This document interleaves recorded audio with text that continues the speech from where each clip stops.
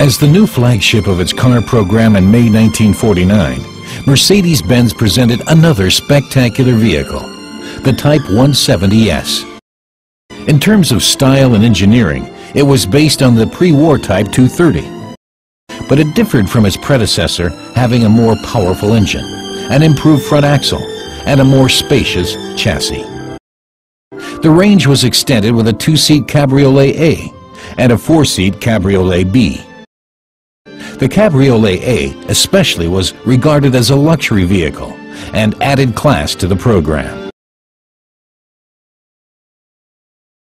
While undergoing substantial improvements in January 1952, the 170S was supplied with a steering column shift and a starter button, amongst other things. The variation was internally called 170B, and its prominent features included an enlarged rear window, and internal trunk lid hinges. At the same time, the new Type 170DS was displayed.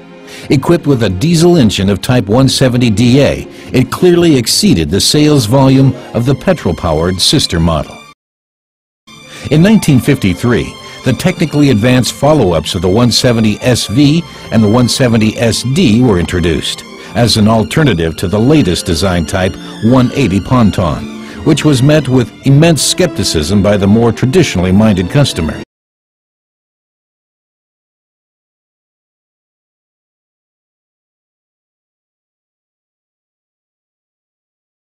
The last edition combined the largely unchanged chassis of the predecessors with the more spacious bodies of the 170SB and 170DS respectively.